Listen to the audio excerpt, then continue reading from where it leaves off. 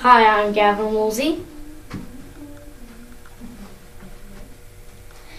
I like dirt. I like riding my dirt bike and playing video games and adventuring. And I and I graduated from Julie Nation.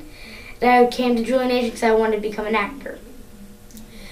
You want a really great car that makes you feel cool? Buy a Dodge Charger. The Dodge Charger is fast and flashy and make you feel powerful.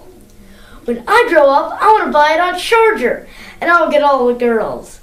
My point is, Dodge Chargers are awesome. So go to your local Dodge dealer now and buy a Dodge Charger. Okay, now I'm going to do my monologue. My first grade teacher told us to think about what we'd like to be when we grow up. Some kids want to be teachers. Boring. Some kids want to be doctors, cutting people open, seeing their guts. Ew. Most of the boys want to be cops. Hands up! Or a firefighter. Stop! Drop! Roll!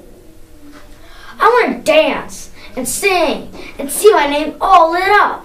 Everyone will say, wow, isn't that, isn't that me?